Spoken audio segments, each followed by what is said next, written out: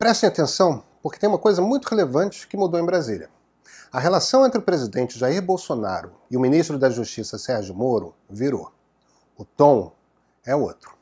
Moro está muito mais seguro e, principalmente, começou de vez a virar político. Os sinais dessa transformação começaram a aparecer muito recentemente. E olha, tem muita coisa em jogo. Nesse tabuleiro tem até a presidência da República. E Bolsonaro sabe disso muito bem. Eu sou Pedro Dória, editor do Meio, e esse é o ponto de partida.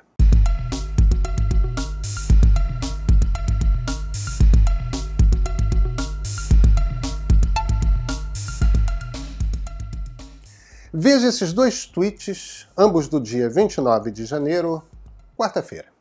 O do presidente Jair Bolsonaro repete um texto do general Augusto Heleno, 9 horas da manhã. Jair Bolsonaro tornou-se o maior símbolo do combate à corrupção de que se tem notícia nos 520 anos da história do Brasil. Hiperbólico, né? E cá entre nós, esse negócio de nunca antes na história, bem, a gente já ouviu. Mas tudo bem. O tweet do ministro Sérgio Moro é de 7 horas da noite. Combater a corrupção não é um projeto pessoal ou de governo, é um projeto de país.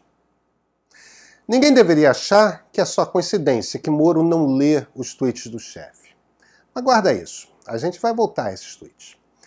Olha, essa mudança é muito recente. Ao longo de 2019, nós vimos um Moro que assumiu o cargo entusiasmado e passou o resto do ano apanhando, se encolhendo.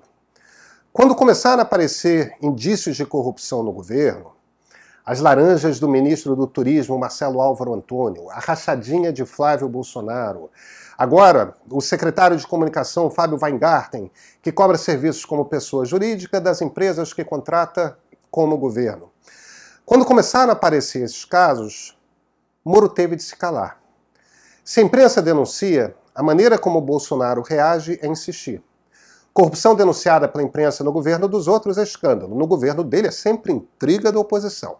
Pois bem, Moro ainda tentou conversar com o presidente do Supremo, José Antônio Dias Toffoli, para que o COAF continuasse alertando polícia e procuradores sobre indícios de corrupção. Resultado? Levou uma bronca do chefe. Isso atrapalhava a vida do filho 01.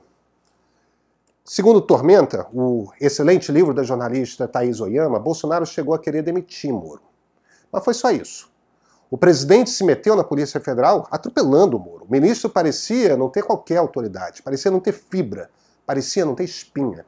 Aí vieram os vazamentos. As conversas do coordenador da Lava Jato em Curitiba, Deltan Delagnol, demonstraram que Moro ajudou os procuradores durante as operações.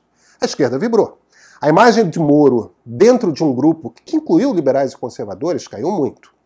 2019 foi um ano muito ruim para o ministro.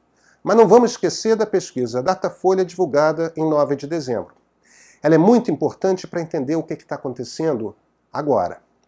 Moro é considerado ótimo e bom por 53% dos brasileiros. Bolsonaro, ótimo e bom só por 30%.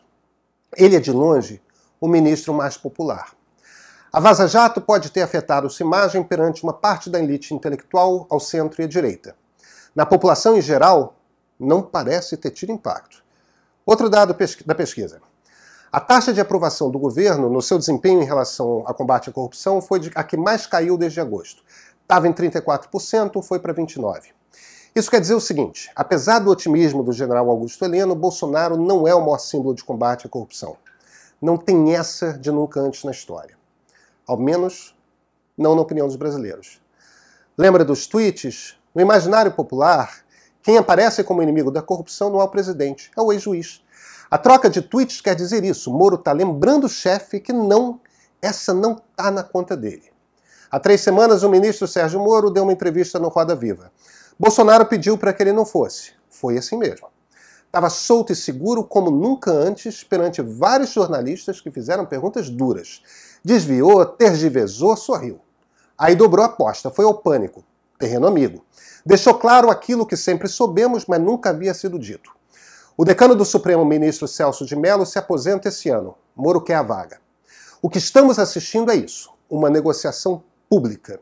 E pela primeira vez, Moro está peitando o Bolsonaro. Por quê?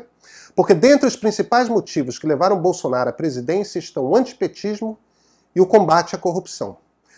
Tudo indica que entre os eleitores que têm essas preocupações, Moro representa mais o conceito do que o presidente.